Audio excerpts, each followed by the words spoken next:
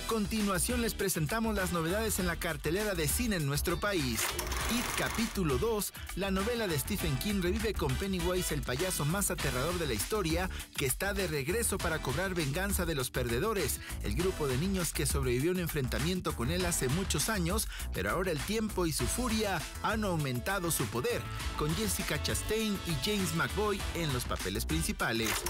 Red, Chuck, Bomb y Leonard, los pájaros más populares de la actualidad, tendrán que lidiar nuevamente con problemas a la vista cuando un grupo de cerdos encabezados por Z desembarquen en su hogar desatando un conflicto gigantesco en la cinta animada Angry Birds 2.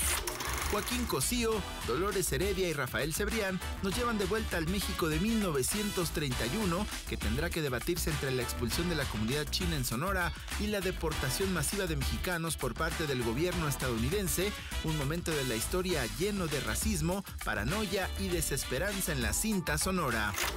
En K12 conoceremos a Cry Baby, una niña que llegará a un internado aterrador donde todas las personas son hostiles y terminarán por hacerle bullying y convertir su estadía en un tormento. Sin embargo, una de sus compañeras la protegerá de todos y le ayudará a salir de ahí, estelarizada por Melanie Martínez y Candy Cruz. Y por último, un documental que enaltece una industria tradicional de nuestro país, que aunque peligrosa representa buena parte de la historia de México, presenta en cada celebración la pirotecnia, retratando la pasión, compromiso y esfuerzo de todos los artesanos que han dedicado su vida a ello en Poetas del Cielo, con información de Carlo Vanegas, Bla Bla Show.